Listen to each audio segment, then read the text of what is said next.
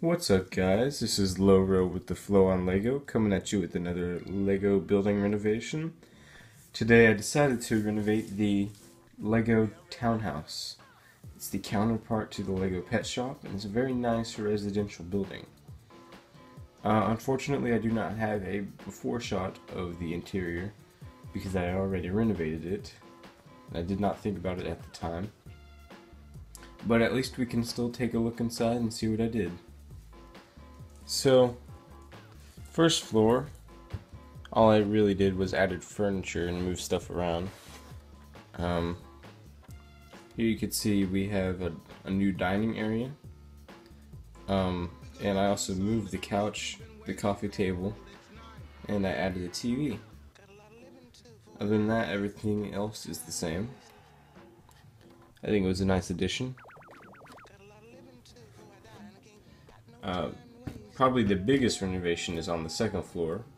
Um, if you guys are familiar with the Lego townhouse, you know that the second floor is completely empty.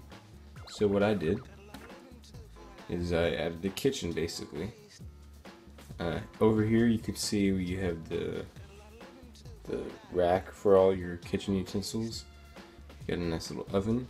Learned that from uh, I forgot who I learned it from, but it was uh, on YouTube somewhere. Uh, the little lady cooking right next to the sink. Um, over here we have a nice brick built fridge. Um, some shelves inside. Thought that was a nice addition. And there's also a little island, which is very easy to build. It's just a couple bricks and tiles. Um, the last floor, once again I didn't do very much because it was a small floor. But I did still do something. So if we take off the roof here, look inside. Uh, I added, added a bed right there, um, a rug, and a nightstand.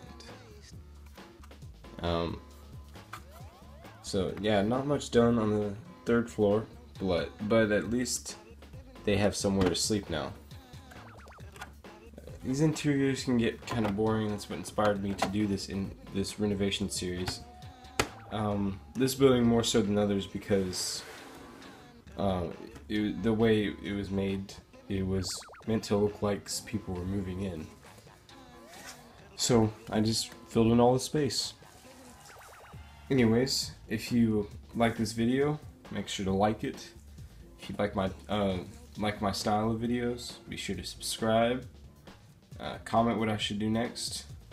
Other than that, this is Loro with the Flow on Lego saying peace out.